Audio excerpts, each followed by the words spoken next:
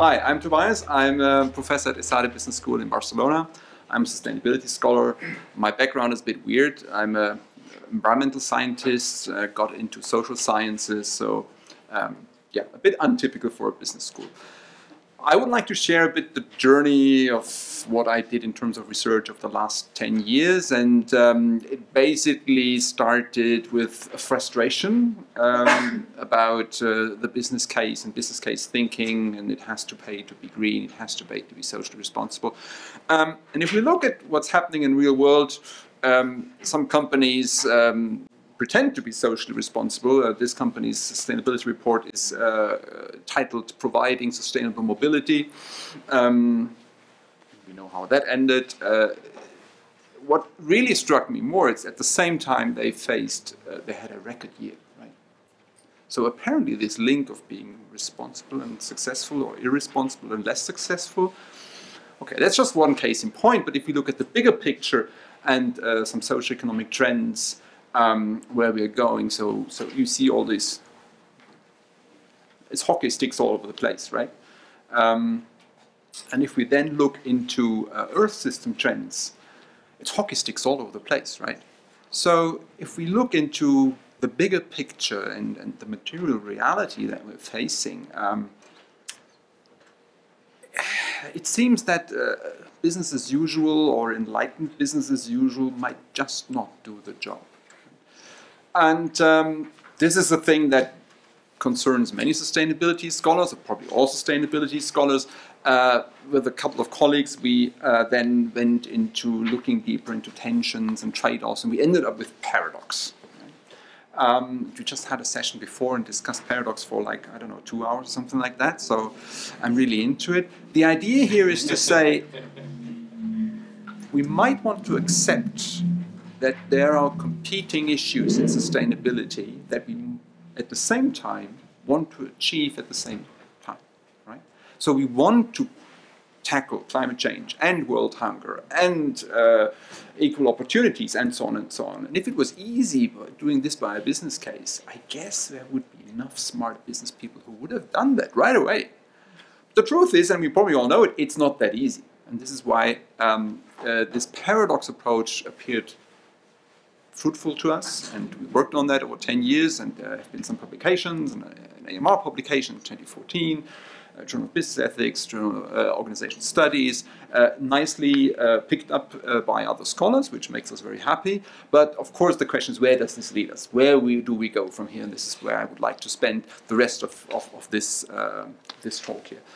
We try to come up with a definition of what we understand with a paradoxical approach to uh, sustainability. So the focus is really on eventually on the outcomes. So uh, this paradox lens is supposed to be a means towards an end, and hopefully a better means towards the end of more sustainability.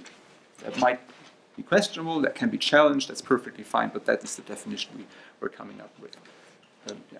So in paradox theory, there is this difference oftentimes between either-or thinking and both-and thinking. And either-or thinking would see trade-offs and sustainability, and these trade-offs then might be fixed with finding business cases. So these are solved, they go away, right? So we get rid of the problem because we have can have both, right? We can be successful financially and socially and environmentally.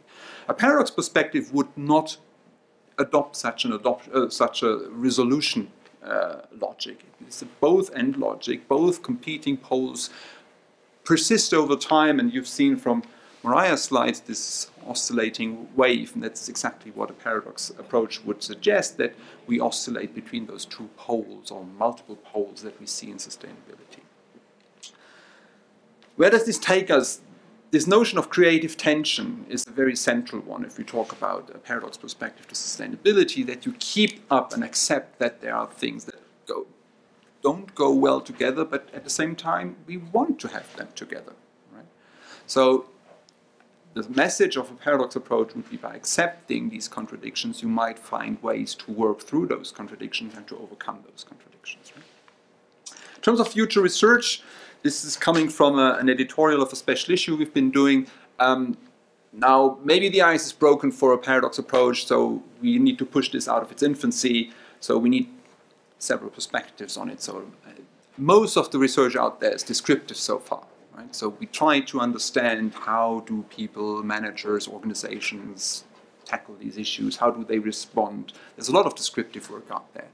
Of course, there can be instrumental work. What are the outcomes? Can it be generative for our sustainability outcomes if we address problems with a paradoxical mindset? And uh, there's a huge field of, uh, of potential studies, empirical studies, to establish what are the outcomes if we, if we adopt paradoxical thinking. There's a uh, recently a, a, scale on paradoxical thinking that has been published in AMJ, so that lends itself to apply it also in a sustainability context. And of course, there are questions about the normative um, uh, underpinnings of a paradox perspective. You say, if you accept contradictory aspects, on which normative grounds do you do that? And if you strike a balance, and if you go forth and back between opposing things, what are the normative underpinnings of doing that? What are acceptable outcomes to take into consideration when you say, okay, we accept competing ones? If you have competing uh, outcomes of um, different agricultural uh, practices in terms of addressing uh, fuel crops and uh, food crops, right? There are contradictions that have strong moral underpinnings. Right? And then I won't go into detail. Of course, we discussed the interdependencies of those different perspectives uh, that could fruitfully um, motivate each other's in further theory. Um, there are two research ideas I would like to highlight. Um, I'm not actually, well, in some way I'm working on them, but not, I mean, that's too broad for one paper, but that's just two areas that I find personally very intriguing and attractive.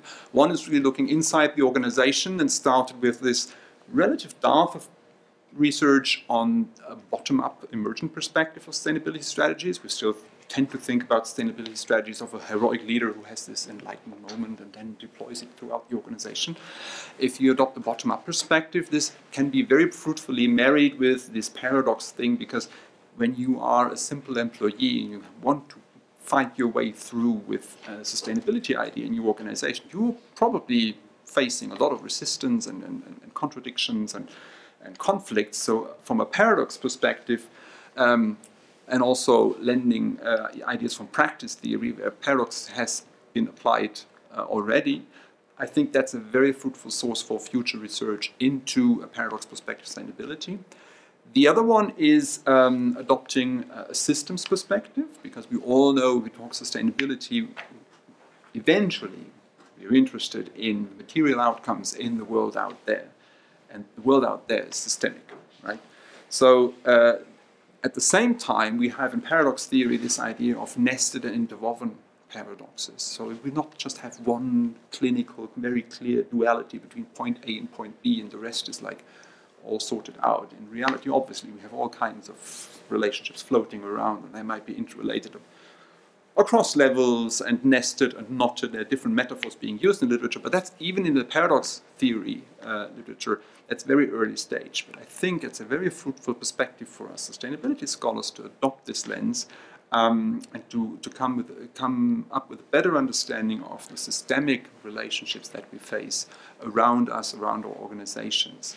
So um, maybe to go back to this opening question, does it pay to be green? From a paradox perspective, you would go forth and back between those questions. Does it pay to be green or does it green to pay? And Does it pay to be green or does it green to pay? And It's an ongoing oscillation. Okay, thank you very much.